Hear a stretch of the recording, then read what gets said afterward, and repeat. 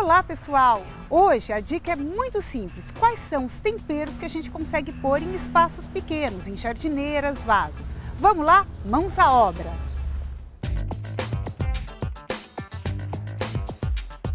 Começando com os manjericões. Vocês sabiam que são mais de 60 espécies? Aqui eu tenho alguns e para as floreiras eu, eu indico esses menores, entendeu? O manjericão miúdo, o manjericão limão, o manjericão roxinho.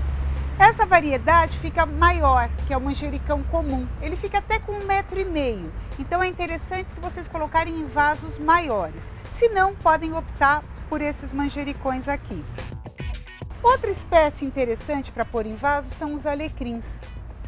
Eu tenho algumas espécies, que é o alecrim rasteiro, que é essa espécie aqui.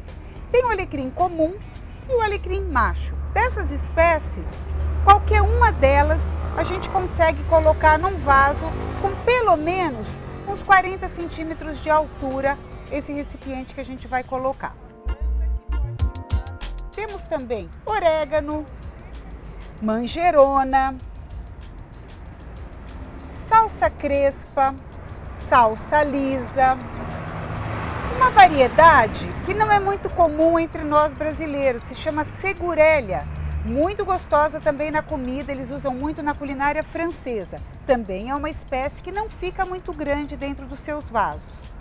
Cebolinha, cebolinha francesa, que é uma cebolinha mais fininha, mais delicada, deliciosa em omeletes ou mesmo colocada com legumes, carnes, fica muito boa. Olha o tomilho. O tomilho bem pequenininho. Tem duas variedades, o tomilho comum, que lembra demais o, o perfume e o sabor do orégano, e o tomilho limão, que fica divino com sobremesas, com peixe, com doces, com carnes brancas, é, com, enfim, é, com sucos. Também cabe numa floreira ou num vaso menor. Olha, vocês conhecem o nirá? O nirá é o alho japonês. É uma delícia, ele não tem o dente né, embaixo como o alho convencional. Você corta e faz simplesmente um refogado. Também é possível colocar em vasos.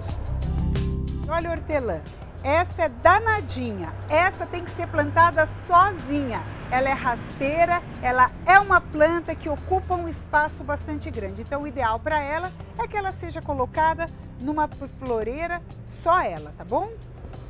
Tanto é que a gente tem essa outra variedade né, de menta, que é hortelã-pimenta, são das, do mesmo gênero, da mesma família, porém não devem ser colocadas juntas, porque podem hibridizar, elas podem cruzar e uma mata a outra, tá bom? Lembrem bem dessa dica. Enfim, para finalizar, outra opção é a sálvia.